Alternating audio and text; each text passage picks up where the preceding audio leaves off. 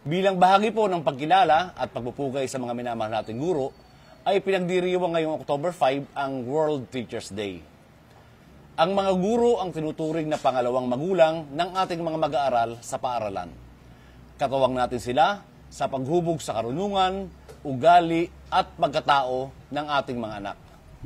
Sa panahong ito ng pandemya, higit na sinubok ang kakayanan ng mga bayani sa silid-aralan. Nagsumikap silang ihatid ang pagtuturo gamit ang iba't ibang paraan sa gitna ng panganib na dala ng COVID-19.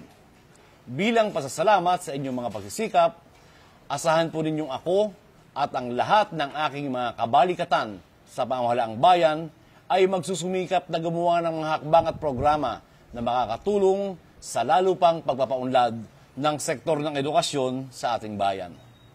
Kung kaya naman sa tao ng pagdiriwang na ito, hayaan ninyong muli bilang ama ng ating bayan ay aking bigyan ng mataas na pagkilala at pagpapahalaga ang kontribusyon sa ating pamayanan sa buong pusong pagsasalin ng kaalaman sa ating mga kabataan.